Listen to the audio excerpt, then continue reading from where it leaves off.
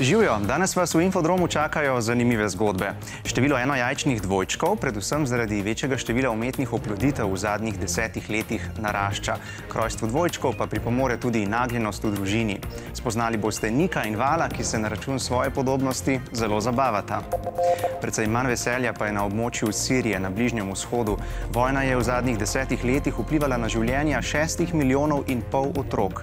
Desetletna duha mora namesto v šolo hoditi na delo v šivalnico.